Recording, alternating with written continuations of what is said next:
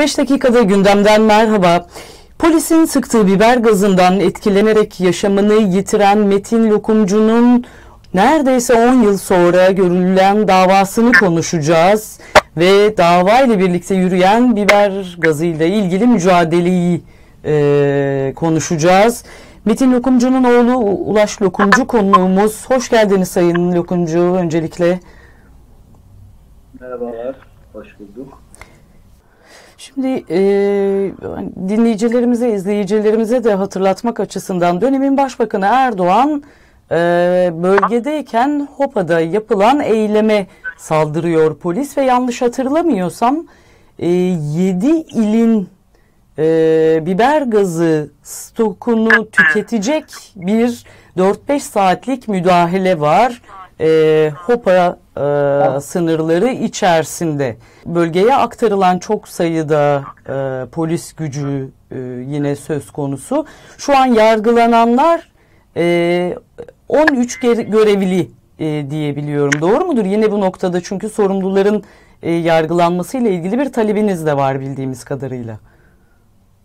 Ya biz şimdi zaten 9 yıldır tabii ki hiç bıkmadan adalet arayışımıza başladık. Biz bu e, sinsileyle sürekli soruşturmalar, İçişleri Bakanlığı, Başbakanlık yani çünkü sonuçta emri veren de bu işten sorumludur diye ama işte bazılarına takipsizlik geldi, bazılarına görevsizlik gele gele bu 13 kişiye geldi. Bu 13 kişinin de birisi Artvin İl Emniyet Müdürü, biri Hopa İlçe Emniyet Müdürü, 11'i de o meydanında gaz sıkmakla kişiler.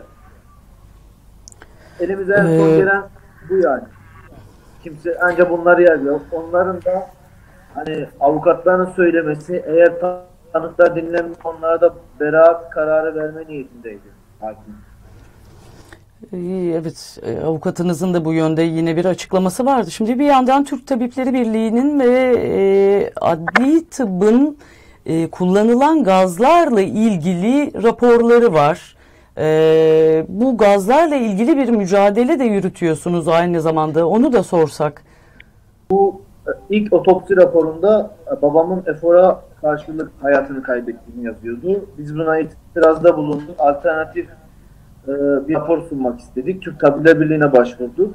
Onlar da çeşitli araştırmalar, İstanbul Sözleşmesi, bir dünya şey uluslararası sözleşmeleri araştırarak aslında o bizim de imza attığı, yani Türkiye Cumhuriyeti'nin de imza attığı sözleşmelerde o gün kullanılan biber gazının bir kimyasal silah olduğu ve bunun da kişinin ölümüne sebebiyet verebileceğine dair bir rapor hazırladılar. Biz o raporla adli tıp kurumuna tekrar itirazda bulunduk.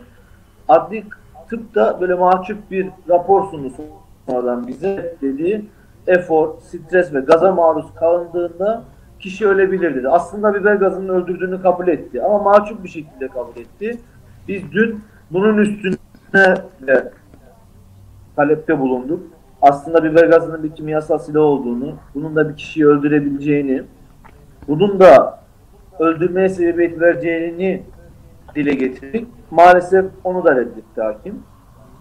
Ama bizim zaten bu davadaki amacımız o. Bu biber gazının bir kimyasal silah olduğunu, o kimyasal silahın da bir kişinin ölümüne sebep şekilde biz açıkladık. Bunun da Türk adalet sisteminde yerini bulmasını, o adaletli bir çentik atmasını istiyoruz. Şimdi bildiğimiz kadarıyla 28 Haziran'a ertelendi dava.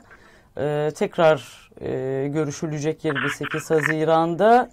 Ee, sanırım e, davayı biz de e, ve bir mücadelenizi biz de takip etmeye devam edeceğiz. E, çok teşekkür ederiz yayınımıza katıldığınız için.